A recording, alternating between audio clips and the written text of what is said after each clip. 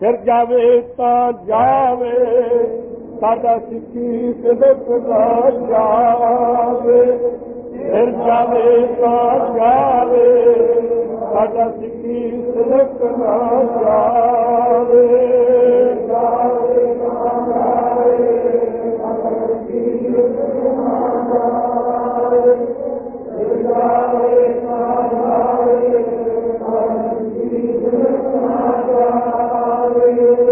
ਫੁਰਮਾਨੀ ਹੈ ਕਾਰ।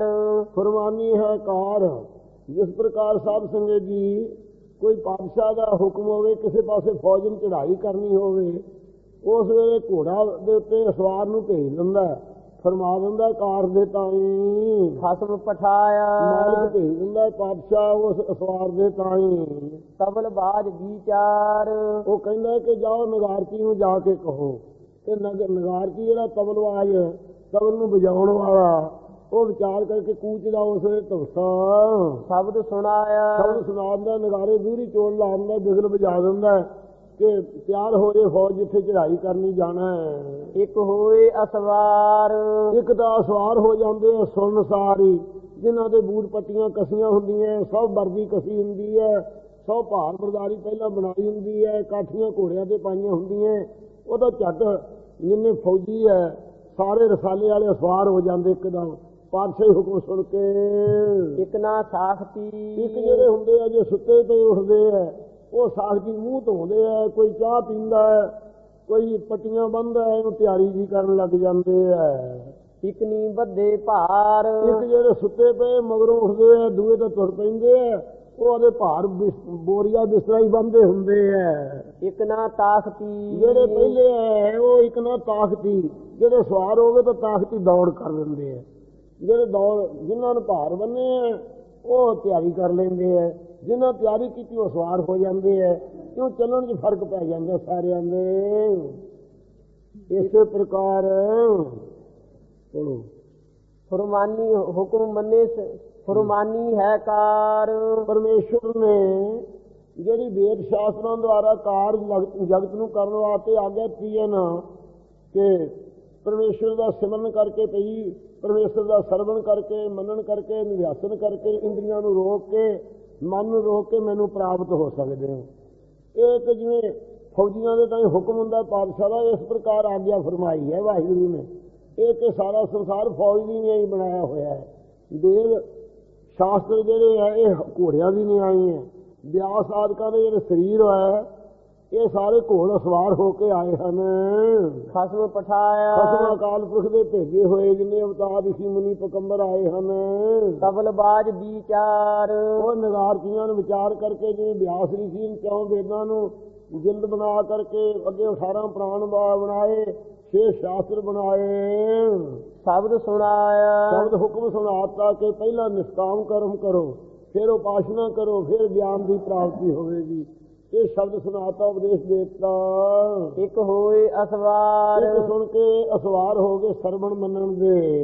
ਇੱਕ ਨਾ ਸਾਖਤੀ ਇੱਕ ਤਿਆਰੀ ਕੀਤੀ ਵਿਰਾਗ ਵਿਵੇਕ ਆਦਿਕਾਂ ਦੀ। ਇੱਕ ਨੀ ਬੱਦੇ ਭਾਰ। ਇੱਕ ਇੰਦਰੀਆਂ ਦੇ ਦਮਨ ਕਰਨ ਨੂੰ ਭਾਰ ਬੰਨੇ ਨਿਸ਼ਕਾਮ ਕਰਮ ਕਰਨ ਲੱਗ। ਇੱਕ ਨਾ ਤਾਖਤੀ ਇੱਕ ਨੂੰ ਦੌੜ ਕਰਤੀ ਜਿਨ੍ਹਾਂ ਸਰਵਣ ਮਨਨ ਨੂੰ ਅਭਿਆਸਨ ਕੀਤਾ ਉਹਨਾਂ ਨੂੰ ਦੌੜ ਕੀਤੀ। ਤੇ ਦੌੜ ਕਰਕੇ ਵਰਜੇ ਬੁੱਧੀ ਨੂੰ ਜਿੱਤ ਕਰਕੇ ਸਿੱਖਿਆਤਾ ਜਿਹੜੀ ਕਰਨੀ ਹੈ ਇਹ ਤਖਤ ਦੀ ਪ੍ਰਾਪਤੀ ਉਹਨਾਂ ਨੂੰ ਹੋ ਗਈ। ਉਹ ਸਰੂਪ ਰੂਪੀ ਤਖਤ ਤੇ ਪਹੁੰਚ ਗਏ ਜਿਨ੍ਹਾਂ ਨੇ ਕਿਨਾਂ ਇੰਦਰੀਆਂ ਰੂਪੀ ਭਾਰ ਬੰਨੇ ਸੀ ਉਹਨਾਂ ਨੂੰ ਤਿਆਰੀ ਕਰ ਲਈ, ਸਰਵਣ ਵਿਰਾਗ ਵੇ ਖੜਸਮਤੀ ਮੁਖ ਇੱਛਾ ਧਾਰਨ ਕਰ ਲਈ। ਅਤੇ ਜਿਨ੍ਹਾਂ ਨੇ ਇਹ ਚਾਰੇ ਸਾਧਨ ਕੀਤੇ ਸੀ, ਉਹ ਸਰਵਣ ਦੀ ਸਵਾਰੀ ਵਾਲੇ ਹੋ ਗਏ। ਜਿਹੜੇ ਸਵਾਰੀ ਹੋ ਗਏ, ਮੰਨਣ ਵਾਲਿਆਂ ਨੂੰ ਦੌੜ ਕਰ ਦਿੱਤੀ। ਨਿਧਿਆਸਨ ਵਾਲਿਆਂ ਨੂੰ ਉਸ ਥਾਂ ਪਹੁੰਚਣ ਦੀ ਕੀਤੀ। ਇਸ ਪ੍ਰਕਾਰ ਉਹ ਤਖਤ ਤੇ ਪਹੁੰਚ ਗਏ ਇੱਕ ਤਾਂ। ਤੇ ਇੱਕ ਸਵਾਰ ਹੋ ਗਏ ਜਿਹੜੇ ਸਰਵਣ ਮੰਨਣ ਦੇ। ਉਹਨਾਂ ਨੇ ਇਸ ਪ੍ਰਕਾਰ ਸਾਖਤੀ ਤਿਆਰੀ ਕਰ ਲਈ ਉਸ ਪਰਮੇਸ਼ਰ ਦੇ ਮਿਲਣ ਦੀ। ਇੱਕ ਨਾ ਇੰਦਰੀਆਂ ਰੂਪੀ ਭਾਰ ਬੰਨੇ ਜਿਹੜੇ ਉਹ ਤਖਤ ਅੱਗੇ ਨੂੰ ਦੌੜ ਕਰਤੀ ਉਹਨਾਂ ਨੇ। ਜਿਨ੍ਹਾਂ ਨੇ ਦੌੜ ਕੀਤੀ ਸੀ, ਉਹ ਅੱਗੇ ਪਹੁੰਚ ਗਏ ਤਖਤ ਦੇ ਉੱਤੇ। ਇਸ ਪ੍ਰਕਾਰ ਜਿਹੜੇ ਫੌਜੀਆਂ ਦੇ ਚਲਣ 'ਚ ਫ਼ਰਕ ਹੈ ਨਾ। ਇਹਨੇ ਸਾਧ ਸੰਗਤ ਜੀ, ਸਾਡੇ ਅਸੀਂ ਜਨਮ ਧਾਰ ਕੇ ਆਉਨੇ ਆ। ਜਿਨ੍ਹਾਂ ਨੇ ਪਿਛਲੇ ਜਨਮਾਂ 'ਚ ਕੋਈ ਕਰਮ ਕੀਤੇ ਨੇ, ਚੰਗੇ ਨਿਸ਼ਕਾਮ ਕਰਮ। ਤੇ ਇੰਦਰੀਆਂ ਦਾ ਦਮਨ ਕੀਤਾ ਹੋਇਆ ਹੈ। ਉਹ ਜਦੋਂ ਜਨਮ ਧਾਰਦੇ ਆ, ਗੁਰੂ ਨਾਨਕ ਸਾਹਿਬ ਸੱਚੇ ਪਾਤਸ਼ਾਹ, ਇੱਕ ਗਰੀਬ ਨੂੰ ਆਜੀ ਤਵਲਬਾਜ਼ ਨਗਾਰ ਕੇ ਵੀ ਨਿਆਈ ਹੈ। ਸ਼ਬਦ ਰੂਪੀ ਨਗਾਰਾ ਮਹਾਰਾਜ ਸਾਹਿਬ ਵਜਾਉਂਦੇ ਆ। ਤੇ ਇਸ ਨਗਾਰੇ ਨੂੰ ਸੁਣ ਕੇ ਇੱਕ ਤਾਂ ਗੁਰੂ ਸਾਹਿਬ ਦਾ ਜਿਹੜਾ ਸਰੀਰ ਹੈ, ਇਹ ਸੁਰਤੀ ਦੇ ਅਸਵਾਰ ਮਹਾਰਾਜ ਸਾਹਿਬ ਆ, ਜਿੱਥੇ ਚਾਹੁੰਦੇ ਸੁਰਤ ਨਾਲ ਭਾਈ ਬਾਲੇ ਮਰਦਾਨੇ ਨੂੰ ਵੀ ਲੈ ਜਾ ਕਰਦੇ ਤੇ ਨਗਾਰਾ ਰਵਾਬ ਜਿਵੇਂ ਮਰਦਾਨੇ ਦੇ ਪਾਸੋਂ ਵਜਾਇਆ ਕਰਦੇ, ਕੀਰਤਨ ਕਰਿਆ ਕਰਦੇ ਸੱਚੇ ਪਾਤਸ਼ਾਹ। ਇਸ ਪ੍ਰਕਾਰ ਸੱਚੇ ਪਾਤਸ਼ਾਹ ਗਰੀਬ ਨਵਾਜ ਜੀ ਨੇ ਇਹ ਨਵਾਂ ਖੰਡਾਂ ਸੱਤਾਂ ਦੀ ਪੰਜ ਕੀਰਤਨ ਦਾ ਨਗਾਰਾ ਜਦੋਂ ਵਜਾਇਆ ਉਸ ਕੀਰਤਨ ਦੇ ਅਸਵਾਰੀ ਸੁਣ ਕਰਕੇ ਇੱਕ ਤਾਂ ਅਸਵਾਰ ਹੋ ਕੇ ਸਰਵਣ ਕਰ ਲਿਆ ਮਹਾਰਾਜ ਨਾਮ ਨੂੰ। ਤੇ ਮੰਨਣ ਕਰਕੇ ਉਹਨਾਂ ਨੂੰ ਦੌੜ ਕਰ ਦਿੱਤੀ, ਨਿਧਿਆਸਨ ਕਰਕੇ ਉਹ ਸਾਂ ਪਹੁੰਚਣ ਦੀ ਕੀਤੀ। ਇੱਕ ਨਾਲ ਜਿਨ੍ਹਾਂ ਨੇ ਗੁਰੂ ਸਾਹਿਬ ਦੇ ਇਸੇ ਜਨਮ ਵਿੱਚ ਹੀ ਗੁਰੂ ਦੇ ਉਪਦੇਸ਼ ਨੂੰ ਧਾਰਿਆ, ਪਿਛਲੇ ਜਨਮਾਂ 'ਚ ਕੋਈ ਲਾਗ ਨਹੀਂ ਸੀ ਉਪਦੇਸ਼ ਦੀ। ਉਹਨਾਂ ਇੰਦਰੀਆਂ ਰੂਪੀ ਭਾਰ ਨੂੰ ਇੰਦਰੀਆਂ ਦੇ ਵਿਸ਼ਿਆਂ ਵੱਲੋਂ ਇੰਦਰੀਆਂ ਨੂੰ ਬੰਨਣ ਲੱਗ ਗਏ।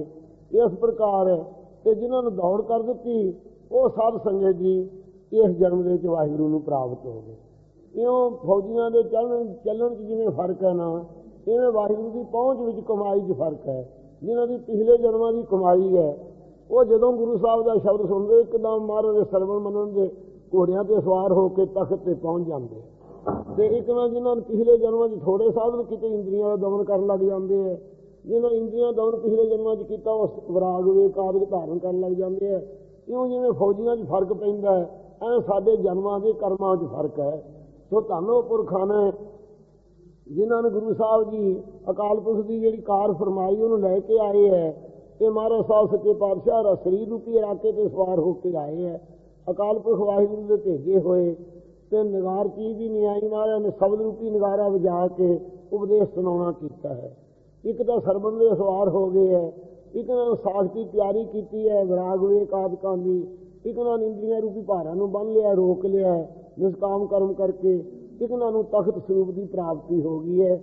ਇਸ ਪ੍ਰਕਾਰ ਸਾਧ ਸੰਗਤ ਜਿਨ੍ਹਾਂ ਜਿਨ੍ਹਾਂ ਨੇ ਜਿਵੇਂ ਕਮਾਈਆਂ ਕੀਤੀਆਂ, ਉਹ ਉਹਨਾਂ ਨੂੰ ਪਹੁੰਚ ਹੋਈ ਹੈ। ਹੁਣ ਇੱਥੇ ਹੀ ਸਮਾਪਤੀ ਕਰੀਏ।